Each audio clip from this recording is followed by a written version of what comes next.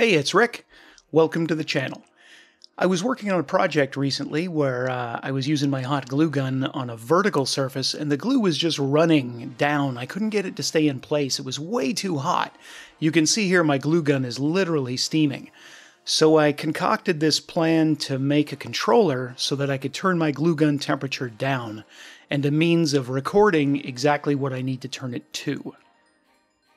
The model file for this plastic junction box, I'm going to put on my Thingiverse, and I'll put the link to that in the description. I've made this model extra deep so that all this extra wiring has a place to go. I find there's not a lot of space in a lot of store-bought junction boxes for the wiring, and you've really got to fight and struggle to squeeze everything in.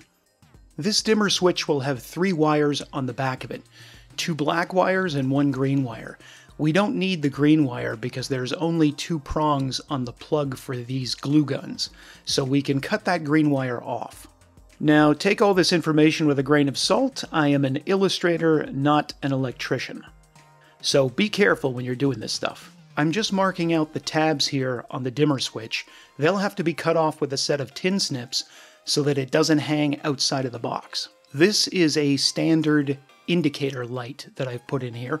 It's essentially an LED for AC electricity rather than DC electricity, so it can be connected directly to 120 volt AC. This indicator light is optional. You don't have to put one of these in if you don't have it. Uh, I just put it in so that I could tell if the unit is on or not. The model for this lid doesn't come with all the holes. I didn't include a hole for the indicator light because that's optional whether you want it or not, and I didn't include a hole for the actual dimmer knob.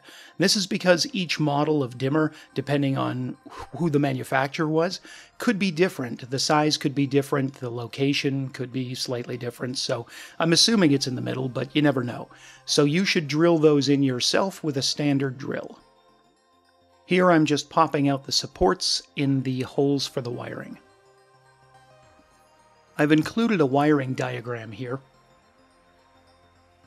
Important things to know, the fat prong on a two-prong cord is going to be the neutral, and the skinny prong is going to be the hot or black wire. Also, the neutral wire has little ribs on the outside of it, where the hot wire is completely smooth. It is the neutral wire that we want to connect continuously from the plug to the receptacle, and the hot wire is the one that we want to break with the dimmer switch. The dimmer switch itself with two black wires, neither one of them is a neutral wire. They are both meant to be connected to black, and it doesn't matter which one you use to which end of the extension cord. I discovered at the last minute that the nut and lock washer on the indicator lamp was not going to work. There wasn't enough room for it to exist between the lid and the dimmer switch, so I've had to remove that and just glue the indicator light in with some crazy glue. If you do decide you want to use the optional indicator light, it again has no positive or negative really. Uh, both are just the same colored wires, and one of them gets connected to the neutral on the extension cord, and the other one gets connected to the hot side of the receptacle. One of the best phrases for you to learn when doing major AC electrical wiring is black burns brass.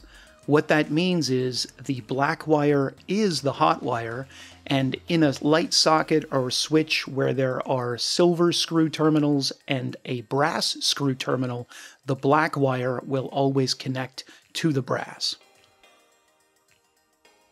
Next stage is to cover all of your soldered connections with electrical tape so that nothing shorts against anything else or shorts against the metal lid on the top of the dimmer switch.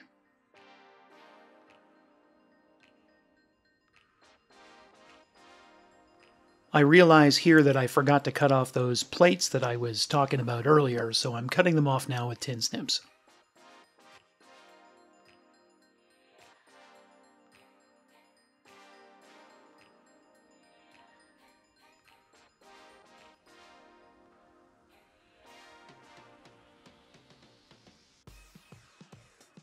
Now when I went to put the screws in through the top cover, I discovered that the threaded holes in the 3D printed junction box just aren't big enough. And that's a common problem with 3D printing. It's difficult to size things.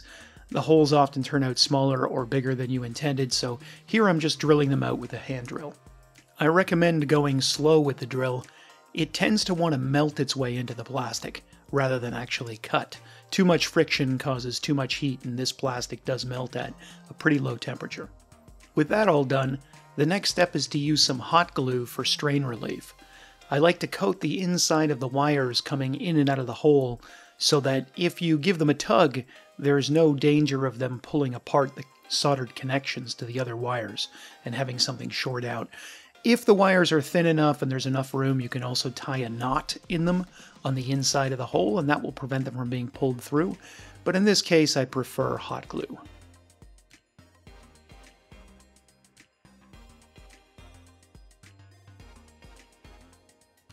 And that's the end of the assembly.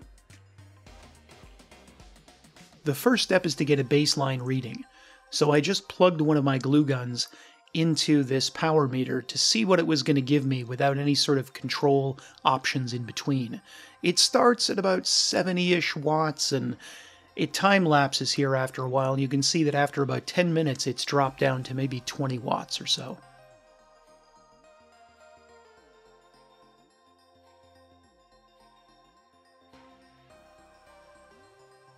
But you can see how hot the glue is actually coming out. It's just really, really runny and steaming. It's really way too hot for most uses. Now we're going to try it again with the control module in between the power meter and the glue gun. I did a bunch of experiments off camera trying to see what my ideal wattage is, what temperature I'd prefer, and the consistency of glue. I'm not going to show any of that. It would make this video like hours long, and nobody really needs to see that. Eventually, I settled at about 10 to 12 watts for this particular glue gun. The last step is to use a label maker to create a label for the glue gun, so I don't forget what the ideal setting is supposed to be. And that's it, one temperature controllable glue gun. If you liked this video, or found it informative or educational, please click the like and subscribe buttons. Thanks for watching.